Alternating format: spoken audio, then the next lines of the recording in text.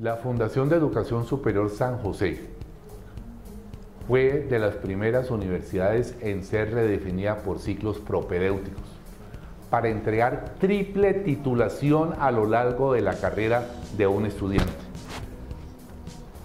El título de técnico profesional, el título de tecnólogo, el título de profesional. Consideramos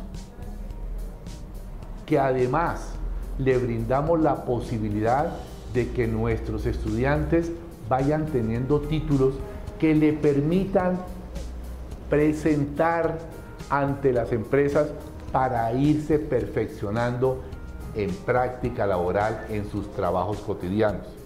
Tenemos 10 carreras, ingeniería de sistemas, ingeniería electrónica, ingeniería industrial, administración de empresas, contaduría, marketing internacional, diseño de modas, diseño arquitectónico, diseño industrial, rendimiento deportivo.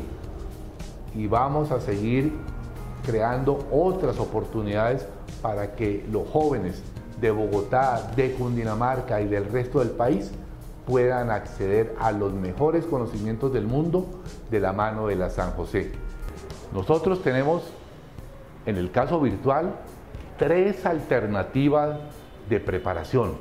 Una alternativa que es 100% virtual, otra alternativa que es semipresencial o blender y una tercera alternativa que no la tiene ninguna otra institución en Colombia, salvo la Universidad de Harvard, donde nosotros a través de plataforma 3D le brindamos los conocimientos de educación virtual presencial, porque es prácticamente presencial, los conocimientos de las diferentes carreras que están autorizadas por el Ministerio de Educación Nacional para ser brindadas como educación virtual. Nuestra institución educativa, San José, no va a escatimar nunca ningún esfuerzo económico por tener la mejor tecnología educativa al alcance de los colombianos. Quiero invitarlos a que se matriculen con nosotros, porque de verdad merecen estar con nosotros.